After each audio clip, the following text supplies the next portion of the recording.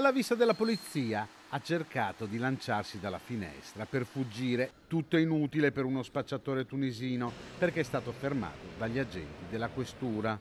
È successo a Villanova di Camposampiero nell'Alta Padovana. Nei guai un 47enne di nazionalità tunisina, irregolare sul territorio e già pregiudicato sempre per reati legati alla droga. Gli agenti tenevano monitorato lo stabile in cui l'uomo vendeva la droga. Durante un appostamento lo hanno visto scambiare un involucro con un cliente. Sono partiti quindi i controlli. L'uomo ha cercato di fuggire ma è stato bloccato dagli agenti della questura.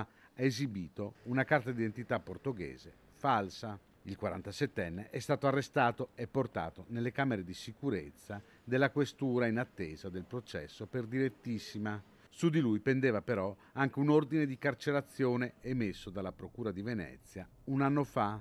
L'uomo è stato quindi portato in carcere.